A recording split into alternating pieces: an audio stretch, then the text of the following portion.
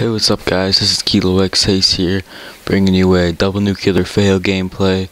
Um, this is a recorded to my vault, and um, wasn't able to get the entire gameplay because at the last uh, few seconds the game cut out because of a host migration. But I did end up getting on a brutal. I think it was a 27, and then the gap match ran out of time. Otherwise, I probably would have gotten the nuclear. So please comment, rate, subscribe, and enjoy the music. Well, I'm so and so. I was given this name by my parents. I've been to such and such a college. I've done these things in my profession. I produce a little biography. Buddha says, forget it. That's not you. That's some story. That's all gone. That's all past. I want to see the, the real you you are now. Well, nobody knows who that is.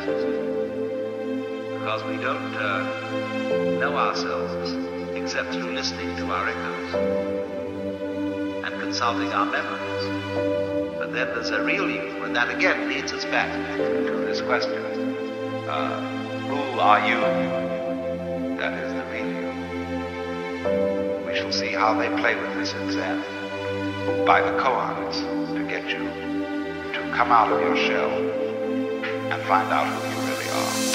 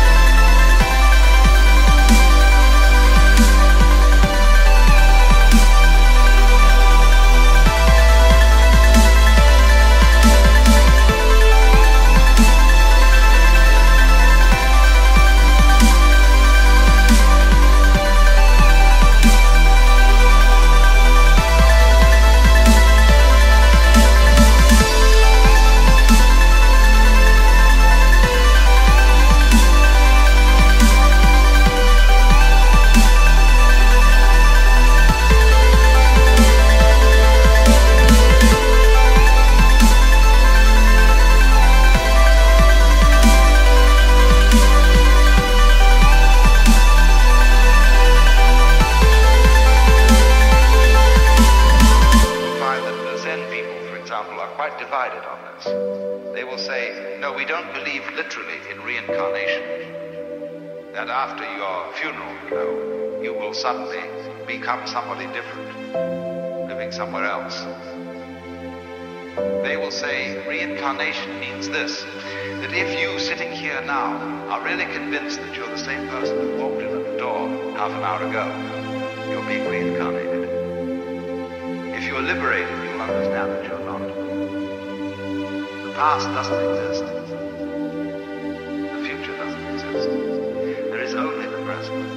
That's the only real you that there is. The Zen master Dogen put it this way. He said, Spring does not become the summer.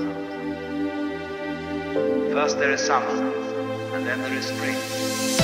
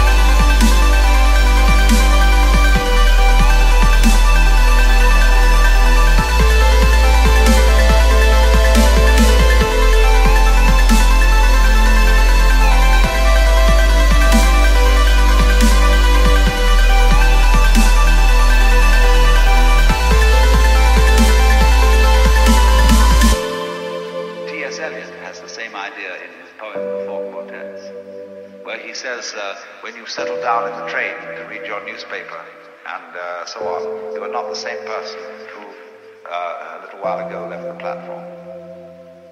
If you think you are, you are linking your moments up in a chain. And this is what binds you to the wheel of birth and death. But when you know that every moment in which you are is the only moment, this comes into Zen. A master will say to somebody, "Now get up and walk across the room. And he comes back and he says, Where are your footprints? They've gone. So where are you? Who are you? When we are asked who we are, we usually give a kind of recitation of a history, history, history, history.